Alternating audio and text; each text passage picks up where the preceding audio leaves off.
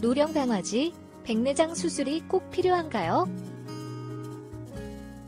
박사님 제가 키우는 강아지는 12살 푸들인데요. 아이 눈에 백태 같은 것이 끼기 시작한 지는 좀 됐고 동물병원에서 백내장 진단도 받았으며 현재 시력을 완전히 잃은 상태는 아니지만 눈이 잘 보이지는 않는 것 같습니다. 백내장 진단 후에 동물병원에서는 수술을 권했는데요. 아이 나이가 적지 않고 또 수술 비용도 커서 어떻게 해야 할지 결정을 하지 못하고 있는 상태입니다. 아이는 현재 밥도 잘 먹는 편이고 눈이 잘 보이지는 않는 것 같지만 힘들어하거나 불편을 느끼는 것 같지는 않은데요. 아이 백내장을 어떻게 해줘야 할지에 대한 판단이 안 서서 답답한 나머지 이렇게 술약 박사님께 조언을 구하게 됐습니다. 박사님, 저희 강아지 백내장은 꼭 수술을 해줘야 하나요? 만약 수술을 해줘야 한다면 결정 시 어떤 점들을 고려해야 하는지 알고 싶고 또 수술을 하지 않고 제가 할 수 있는 방법이 있는지도 알려주시면 감사하겠습니다. 집에서도 편하게 강아지 질병 상담을 받을 수는 없을까? 집에서도 핸드폰으로 강아지 질병 상담을 받을 수 있습니다. 우리 펫닷컴에서 수의학 박사 닥터엠에게 강아지 질병 상담을 받아보세요. 안녕하세요. 강아지 건강과 행복한 삶을 위해 노력하는 수의학 박사 닥터엠입니다. 강아지 백내장은 대표적인 노령성 안과 질병인데요.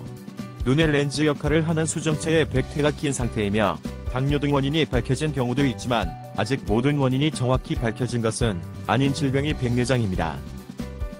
강아지 백내장을 그대로 방치하면 시간이 경과하면서 진행돼 결국 시력을 상실하는 경우가 많은데요.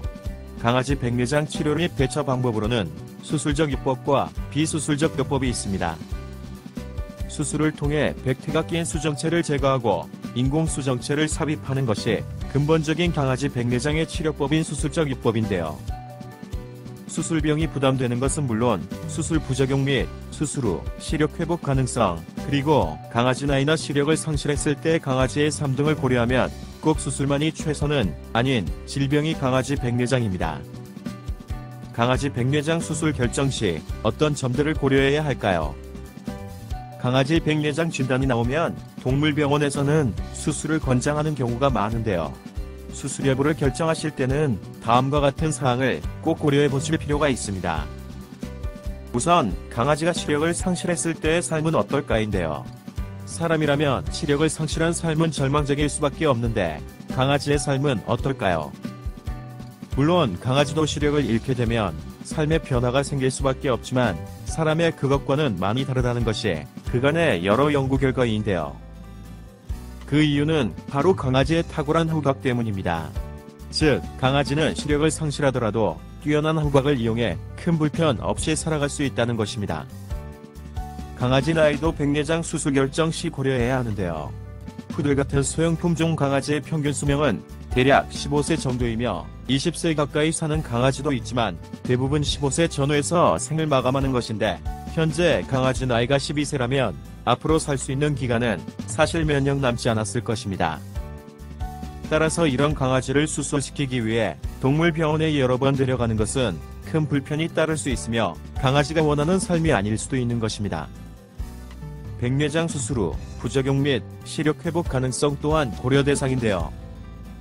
강아지 백내장 수술 후 시력 회복 성공률은 비교적 높은 것으로 알려져 있지만 결코 100% 확신할 수 있는 것은 아니며 다른 눈 질병 등이 시력 회복에 영향을 미칠 수도 있으며 수술 후 합병증이나 부작용 발생 가능성도 고려해 봐야 하는 것입니다. 또 수술 비용도 무시할 수 없는 고려사항인데요. 강아지를 많이 아끼고 사랑한다고 해도 위에서 말씀드린 여러 상황을 감안했을 때 강아지 백내장 수술비도 고려해 볼 필요가 있습니다. 강아지 백내장을 수술하지 않기로 결정한다면 아이에게 무엇을 어떻게 해줘야 할까요? 강아지 백내장은 약이나 영양제 등으로는 치료가 되지 않는 질병인데요.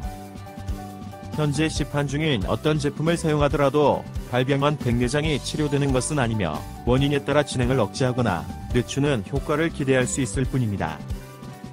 따라서 강아지 백내장을 수술하지 않는다면 약이나 닥터 엘마이즈 골드 같은 눈 기능성 영양제를 사용해 질병의 진행을 억제하거나 늦출 수 있는 가능성을 찾아보는 비수술적 요법을 사용해 보실 수 있는 것인데요.